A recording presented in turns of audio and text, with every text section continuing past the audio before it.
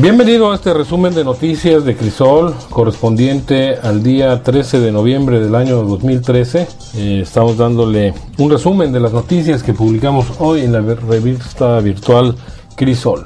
Bienvenido. Funcionarios no pagaron impuestos, denuncia Observece ante el SAT. El organismo ciudadano Observece denunció ante la Administración Local de Auditoría Fiscal de Mexicali, el Servicio de Administración Tributaria, el SAT, a funcionarios de la anterior Administración Estatal por no pagar impuestos. Entre los denunciados se encuentra incluso el gobernador José Guadalupe Osuna Millán. Bueno, pues usted sabe que esto, este organismo lo encabeza Eduardo Martínez Palomera y bueno, pues según se eh, da a conocer a través de una copia de la denuncia que fue presentada contra 25 ex servidores públicos que van desde el ex gobernador del estado hasta el coordinador de relaciones públicas. El documento se encuentra fechado el 12 de noviembre de este año y recibida por la mencionada oficina de Hacienda con esa misma fecha. Y bueno, pues expuso que Eduardo Martínez Palomera expuso que amparados en el derecho humano a saber, el 4 de noviembre de 2011, el organismo ciudadano presentó una solicitud de información al Poder Ejecutivo del Estado, entre lo que destaca el monto mensual desglosado de todas las eh, percepciones, remuneraciones, prerrogativas, en fin, todo lo que ganaron y bueno, pues para saber si pagaron bien o no esos impuestos. Y bueno, pues vamos a ver qué, qué resulta de esta información que bueno, se está dando a conocer ahora. Y bueno, pues es una pregunta válida que a lo mejor todo el mundo, eh, todos los ciudadanos nos, la hacemos. ¿Cuál es el comportamiento ante obligaciones fiscales de los que están en el poder? Sin embargo, pues esta situación se impulsa, se da a conocer, ya que dejaron de ser eh, pues eh, gobierno las personas denunciadas y bueno pues esto habla también de que puede haber incluso ahí algún manejo de tipo político.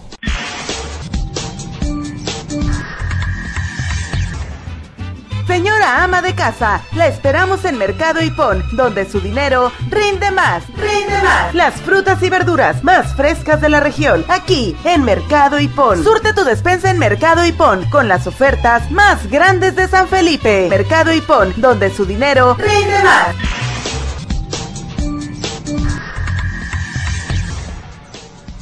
Aprueba Cabildo convenio de pago a bomberos. Por unanimidad de los integrantes del Cabildo de Mexicali se autorizó establecer un convenio de pago para el cumplimiento de laudos dentro de juicios laborales correspondientes a elementos de bomberos de Mexicali.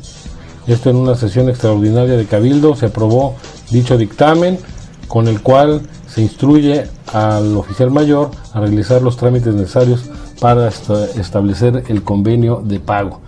Y bueno, pues usted sabe que esta es una deuda millonaria del ayuntamiento, no generada en la actual administración, pero bueno, a lo largo de, varios años de obligaciones laborales, incumplidas por el ayuntamiento, que asciende a 20 millones de pesos, más casi, casi 21 millones, 20 millones 819 mil 340 pesos, y hay otra, hay otra deuda de 1 millón 365 mil 277 pesos y bueno pues esto eh, se aprueba en el cabildo cosa que realmente pues aquí sí pues ya lo aprueba el cabildo y le está bateando el problema a la bolita a la siguiente administración.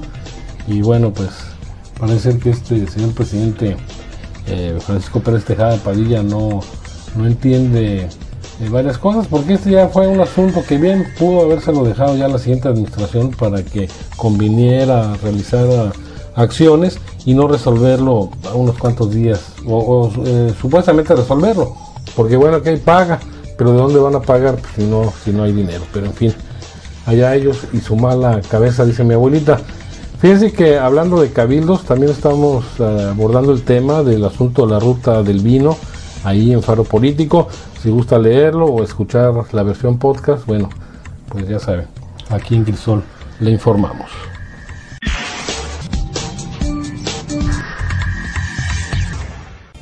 descanso en San Felipe está en Suites Posada del Mar.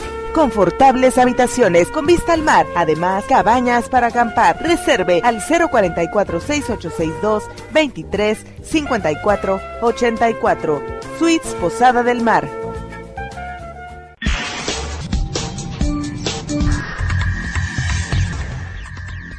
Bueno, diputados federales piden a Pelayo Torres posponer decisión sobre ruta del vino. Exhorta al Ejecutivo Estatal se abstenga de la publicación de dicho ordenamiento en el periódico oficial. Atendiendo las manifestaciones en contra y que el periodo de gobierno municipal de Ensenada está a punto de terminar, diputados federales del Partido Revolucionario Institucional exhortaron al alcalde Enrique Pelayo Torres a promover la abrogación del reglamento del uso de suelo en la ruta del vino. También solicitaron al gobernador Francisco Vega que no publique en el periódico oficial dicho cambio, porque bueno, con eso se cierra el candado del ciclo legislativo y entonces, se convertiría en ley una vez ya publicado en el periódico oficial. Mientras no esté publicado ahí, bueno, no entra, eh, los efectos de la ley reformada no entran en vigor. Entonces, pues aquí es eh, un exhorto y como le decía, este tema estamos tratando en faro político, por razas en jinetes y bueno, pues hasta que por fin, ¿no? Pero en fin, vamos a ver qué es lo que sucede con este asunto, como le digo.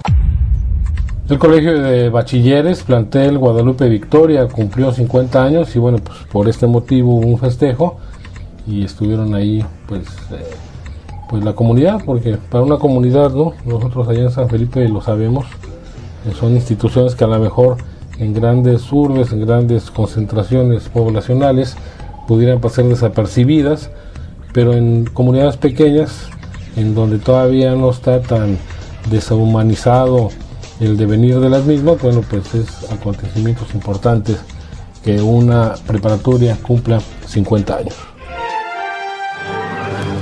Estado y Federación acuerdan trabajo conjunto, revisarán proyectos conjuntos dentro del marco de la colaboración entre el Estado y la Federación.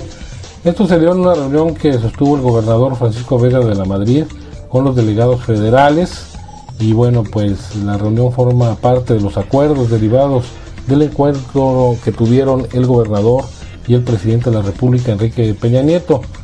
Esos eh, encuentros fueron cuando eh, Francisco Vega era todavía gobernador electo, no había asumido el cargo, pero bueno, pues el, eh, esto es lo que se acordaron, trabajar conjuntamente y el mandatario estatal manifestó a los 33 delegados federales presentes ahí en la reunión la disponibilidad de trabajar estrechamente con las diferentes dependencias del gobierno federal en cada una de las acciones que se lleven a cabo en beneficio del Estado. Le agradezco muchísimo el favor de su atención a este resumen informativo. Mi nombre es Martín Bojor, que es gracias. Adiós.